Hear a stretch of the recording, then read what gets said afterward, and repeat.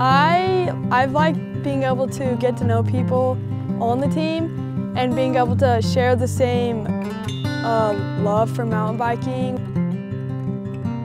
It's just taught me to have like more grit, better endurance, like just don't quit.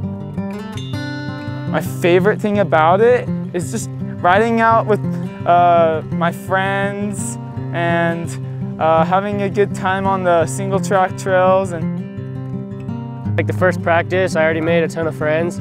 It's just so awesome. Everyone likes the same thing. We all do the same thing. We all go out and shred together. So we all just make connections right away. Man, just the camaraderie, learning from each other.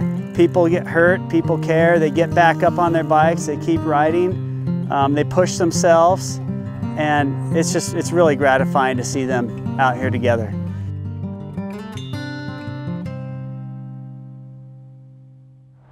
As a coach, there's so many small favorite moments, but a lot of times it's just seeing these kids that have never raced before just complete a race and just the smile that they have when they come across the finish line, that they completed a race. I would say that was probably one of my biggest memories. You know, NICA has its five core principles, and I think those five core principles really trickle down to the kids.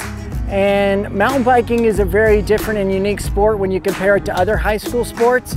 So you know, just for them to have a sport that they can be a part of without having tryouts or without having to be an incredible athlete.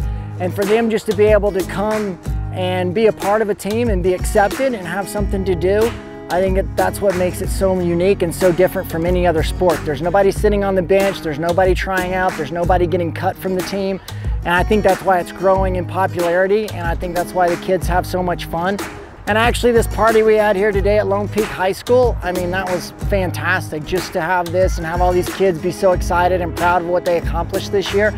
I think that's, that was awesome. It's super fun to win and be undefeated, but again, that's not the number one goal.